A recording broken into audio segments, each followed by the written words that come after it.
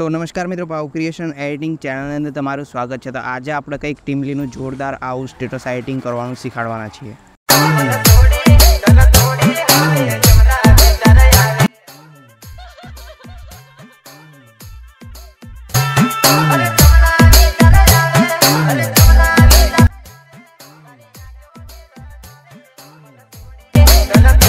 Terrace તમને કેવું લાગ્યું એ તમે કમેન્ટમાં જણાવજો અને ચેનલને સબસ્ક્રાઇબ કરવાનું ભૂલતા નહીં અને આપણું મટીરિયલ બધું તમને નીચે ડિસ્ક્રિપ્શનમાં અને ટેલિગ્રામમાં છે તો ટેલિગ્રામ તમારે જોઈન કરી લેવાનું છે ત્યાંથી તમારું મટીરિયલ ડાઉનલોડ કરી લેવાનું છે અને વિડીયોમાં તમને એક સ્કેન મળશે એ તમારે સ્કેન કરવાનું છે એ હું તમને આગળ બતાવું છું તો ચાલો આપણે આગળ એડિટિંગ હવે ચાલુ કરીએ તો પહેલાં તો સ્કેન કરવા માટે તમારે ગૂગલ જે છે એને તમારે ઓપન કરી લેવાનું છે ગૂગલ ઓપન કરશો એટલે તમારે કંઈક આ પ્રકારે ડેશબોર્ડ આવશે કાં તો તમારા આનાથી થોડું અલગ આવે તો ચાલશે પણ તમારે એક જ કામ કરવાનું છે તમને આગળ જે કેમેરાનો ઓપ્શન તમને આગળ જોવા મળતો હશે એના ઉપર સિમ્પલ તમારે ક્લિક કરી દેવાનું છે એના ઉપર તમે ક્લિક કરશો એટલે તમારી ગેલેરી ખુલીને આવી જશે અને તમે જે આપણા વિડીયોમાં એ સ્ક્રીનશોટ સ્કેનની લીધી છે એ સ્ક્રીનશોટો તમારે આગળ બતાવી દેશે તો તમારે સિમ્પલ એ સ્કેન ઉપર ક્લિક કરી દેવાનું છે તમારે જે સ્ક્રીનશોટ હોય એના ઉપર આ સ્કેન છે આ બીજું સ્કેન છે તમને મેં જે આ વિડીયોનું છે એ તમને અલગથી આ વિડીયોમાં મળી જશે આ બીજા વિડીયોનું છે તો તમારે આ રીતના લિંક આવી જાય એટલે તમે ઉપર ડાયરેક્ટલી લિંક આવી જશે એટલે પછી તમે એના ઉપર ક્લિક કરશો એટલે આપણે જેમ અલાઇટ મોશનમાં મોકલે એ રીતના ડાયરેક્ટલી મોકલી દેશે તો હવે આપણે એડિટિંગ ચાલુ કરીએ પહેલાં તો તમારે જે અલાઇટ મોશન એપ છે એને તમારે ઓપન કરી લેવાનું છે ઓપન કરશો એટલે તમને કંઈક આ પ્રકારે ઇન્ટરફેસ જોવા મળી જશે આ રીતના તમારે ઇન્ટરફેસ આવી જાય એટલે તમારે પ્રોજેક્ટ ઉપર સિમ્પલ ક્લિક કરી લેવાનું છે અને તમને કંઈક આ પ્રકારે પ્રોજેક્ટ જોવા મળી જશે ભાવ ક્રિએશન પ્રોજેક્ટ એમ લખેલું હશે એ તમારે લઈ લેવાનું છે એ તમને આગળ મેં સ્કેન કરતાં બતાડ્યું એ રીતના સ્કેન કરી અને તમારે આમાં એડ થઈ જશે ડાયરેક્ટલી પછી તમારે એને સિમ્પલ ઉપર ક્લિક કરવાનું છે અને ક્લિક કરશો એટલે કંઈક આ પ્રકારે ખુલીને આવી જશે પણ હમણાં તમારે આમાં કંઈ પણ કરવાનું નથી હું તમને આગળ બતાવીશ એમ તમારો વિડીયો જોવાનું છે અને તમે જે વિડીયો લાસ્ટ સુધી જોશો તો આપણે જે હું તમને સેટ કરતાં બતાવ્યું છે ને એ બધું તમને કમ્પ્લીટલી આવડી જશે તો એ રીતના તમારે કરવાનું છે તો પહેલાં તો આપણે જે ફોટો છે એ ફોટો લઈ લેવાનો છે એ પણ તમને મળી જશે તો સિમ્પલ તમારે જે અહીં આગળ સાઈડ પ્લસનું આઇકન છે ત્યાં ક્લિક કરવાનું છે મીડિયા ઉપર ક્લિક કરીને કંઈક આ પ્રકારે તમને ફોટો મળી જશે એ ફોટો તમારે લઈ લેવાનો છે ફોટો લીધા બાદ તમારે સાઈડમાં ત્રણ ડોટ જે દેખાય છે ત્યાં સિમ્પલ ક્લિક કરવાનું છે અને અહીંથી તમારે ફિલ કમ્પોઝિશન એરિયા ઉપર ક્લિક કરી લેવાનું છે આટલું થઈ ગયા બાદ તમારે કંઈક આ પ્રકારે થઈ જશે પછી તમારા જે ઇફેક્ટ છે ઇફેક્ટ ઉપર ક્લિક કરવાનું છે એડ ઇફેક્ટ ઉપર ક્લિક કરવાનું છે અને અહીં આગળ તમને બ્લરનું આઇકન જોવા મળી જશે બ્લર ઉપર તમારે ક્લિક કરવાનું છે અને અહીં આગળ તમને ગોશન બ્લર લખેલું હશે એ તમારે સિલેક્ટ કરી લેવાનું છે એના ઉપર ક્લિક કર્યા બાદ તમારે સ્ટાન્ડર્ડ સેટિંગ ઉપર ક્લિક કરવાનું છે અને અહીં આગળ તમારા ગોશન બ્લર ખુલીને આવી જાય એટલે તમારે અહીં આગળ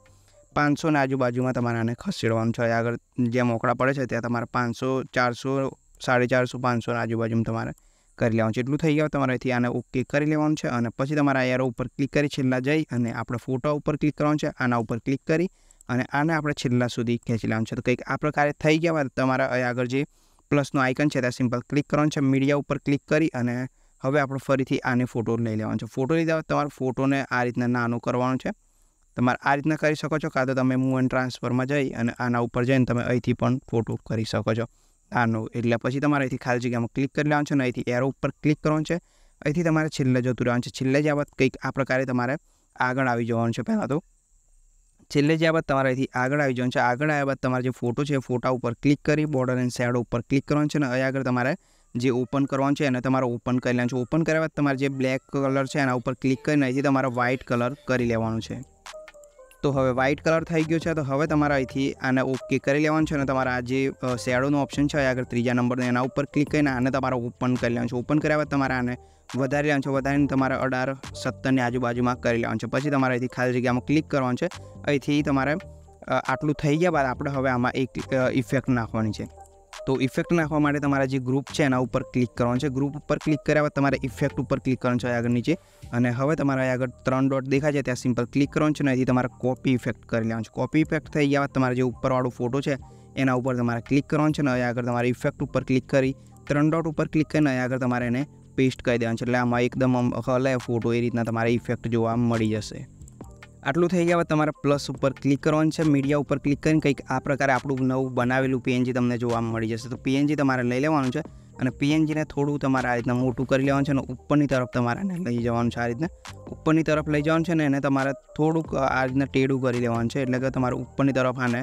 મૂવ કરી અને આને થોડુંક ત્રાસું કરી લેવાનું છે અને એને તમારે એકદમ ફોટોની ઉપર જ રાખવાનું છે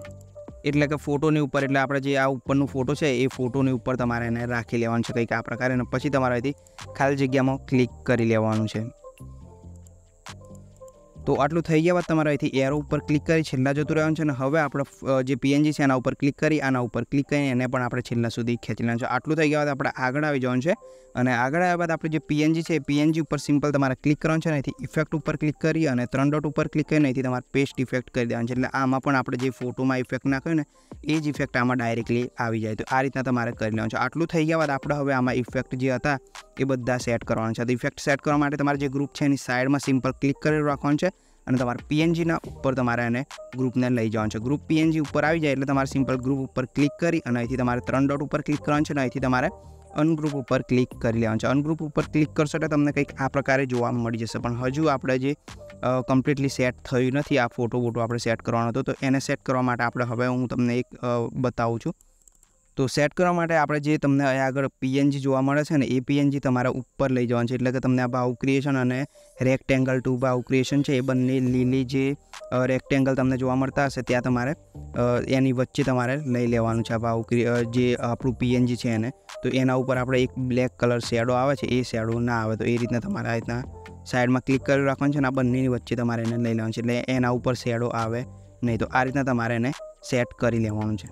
તો આટલું થઈ ગયા બાદ આપણું જે સ્ટેટસ છે એ બનીને કમ્પ્લીટ રેડી થઈ ગયું છે તો હવે તમારે સ્ટેટસનો આપણે સોરી તમારે સ્ટેટસ ચેનલનું કાં તો તમારે ગ્રુપનો લોગો વગેરે તમારે લગાવવો હોય તો તમારે અહીં આગળ લગાવી લેવાનું છે બધું કમ્પ્લીટ કરી લેવાનું છે અને તમારે ગમે તે પીએનજી નાખો તો તમારે આપણું આ પીએનજી છે ને એને ઉપર નીચે તમે ગમે તે નાખી શકો છો પણ આ બંનેની વચ્ચે તમારે પીએનજી નાખવાનું એટલે એના ઉપર ઇફેક્ટ આ બ્લેક આવે છે એ ના આવે તો તમારે બધું કમ્પ્લીટ થઈ ગયું છે તો હવે આપણે આને એક્સપોર્ટ કરવાનું છે તો એક્સપોર્ટ કરવા માટે સિમ્પલ તમને અહીં આગળ એક આઇકન જોવા મળતું હશે ત્યાં સિમ્પલ ક્લિક કરી લેવાનું છે ક્લિક કર્યા બાદ તમને કંઈક આ પ્રકારે ખુલીને આવી જશે તમારે આ અહીંથી આના ઉપર ક્લિક કરીને તમારે ફોનનું જે રિઝોલ્યુશન સેટ થતું હોય એ તમારે કરી લેવાનું છે અને કર્યા બાદ તમારે અહીંથી એક્સપોર્ટનું બટન તમને આગળ નીચે જોવા મળતું હશે તો સિમ્પલ તમારે એક્સપોર્ટ ઉપર ક્લિક કરી લેવાનું છે એટલે આપણો જે વિડીયો છે એ એક્સપોર્ટ થઈ જશે અને પછી સેવનો ઓપ્શન આવી જશે એટલે તમારે સેવ કરી લેવાનું છે એટલે ગેલેરીમાં આપણો વિડીયો આવી જશે તો આટલું તમારે કરી લેવાનું છે તો વિડીયો કેવું લાગ્યું એ તમે કમેન્ટમાં જણાવજો અને ચેનલને સબસ્ક્રાઈબ કરવાનું ભૂલતા નહીં તો ચાલો આવા નવા એક નવા વિડીયોમાં મળીએ અને કમેન્ટ તમે જરૂરથી કરજો. તો ચાલો મળીએ.